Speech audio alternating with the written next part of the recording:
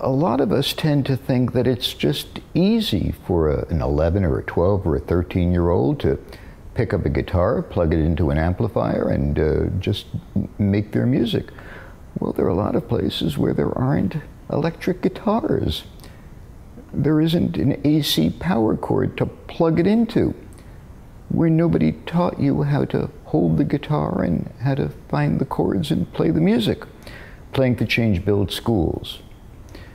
And children come and they learn how to develop their music, they sing.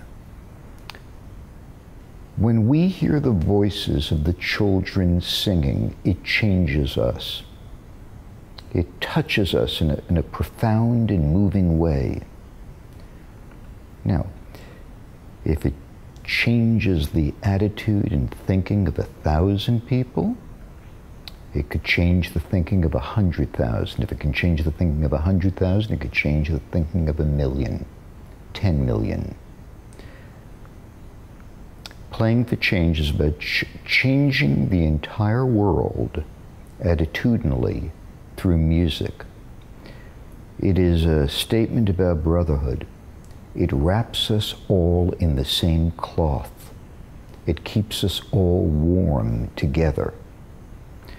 I can't think of any other entity more powerful than music that brings people together.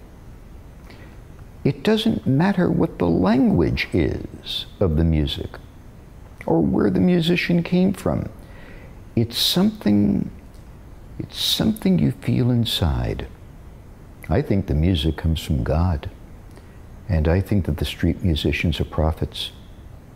And from time to time, the prophets are also joined by an occasional angel. And it touches all of us in a congregation. And the name of this congregation is Playing for Change.